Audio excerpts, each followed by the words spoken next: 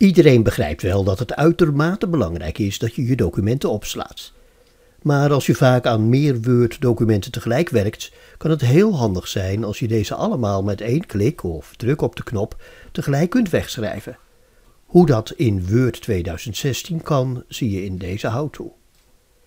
Via het pijltje in de werkbalk Snelle toegang kies je Meer opdrachten.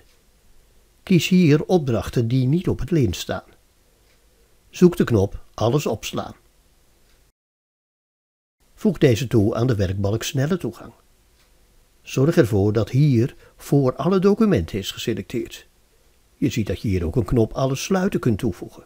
Hiermee kun je dus alle documenten in één keer sluiten. Ook deze voeg ik toe. Als ik het venster sluit, zie je de twee toegevoegde knoppen. Er zijn verschillende documenten geopend waarin ik aanpassingen heb gedaan.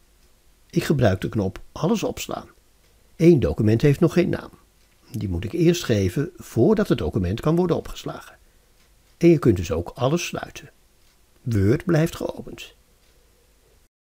Je kunt de knoppen ook aan het lint toevoegen. Je kiest weer Meer opdrachten en nu lint aanpassen.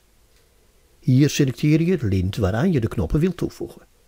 Je moet een nieuwe groep maken om de knoppen toe te kunnen voegen. De groep geef je een naam. Eventueel kun je een afbeelding kiezen.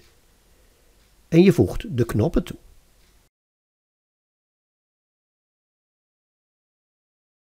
Als je nu het venster sluit, zie je de groep aan de rechterkant in het tabblad Start. Tot zover deze how over alle documenten in één keer opslaan en sluiten in Word 2016.